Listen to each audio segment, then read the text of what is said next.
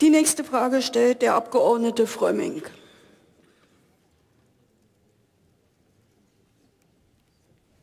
Sehr geehrte Frau Präsidentin, sehr geehrte Frau Ministerin, meine Frage bezieht sich auf die sogenannten delegierten Rechtsakte. Es gab in der vergangenen Legislaturperiode hier einen Vorgang, äh, wo es um die Luftverkehrssicherheit ging. Der Bundestag hat hier ähm, kritisiert, dass ähm, Kompetenzen verlagert werden in Richtung Brüssel. Und dies hatte zu tun mit diesem Institut des delegierten Rechtsaktes. Es ist jetzt nicht ganz Ihr Ressort, aber vielleicht kennen Sie dieses Rechtsinstitut und vielleicht gibt es das auch im Rahmen des Wirtschaftsbereiches. Ich würde gerne von der Bundesregierung wissen, ob sie dieses Rechtsinstitut delegierte Rechtsakte auch für kritisch erachtet, insbesondere im Hinblick auf das Prinzip der Subsidiarität. Danke.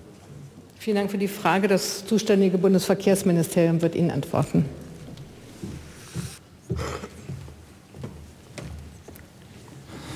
Vielen Dank, äh, Herr Abgeordneter. Zu diesem Thema stand das Ministerium für Verkehr und digitale Infrastruktur in Kontakt mit den zuständigen europäischen Stellen. Da gab es Verhandlungen. Äh, das war um die Neujahrs-Weihnachtstage.